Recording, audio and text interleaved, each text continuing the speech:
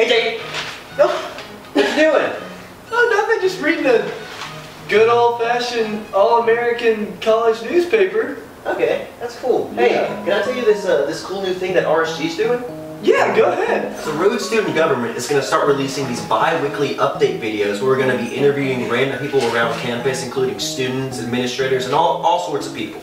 Zoinkies! That sounds awesome. Like, uh, where can I watch these films? So we're going to be linking them on our Facebook page, so make sure you like that. Ah, what days will they be able to be watched? We're going to be releasing them every other Thursday, so stay tuned. Oh, I sure will, and I'm sure the rest of the student body will.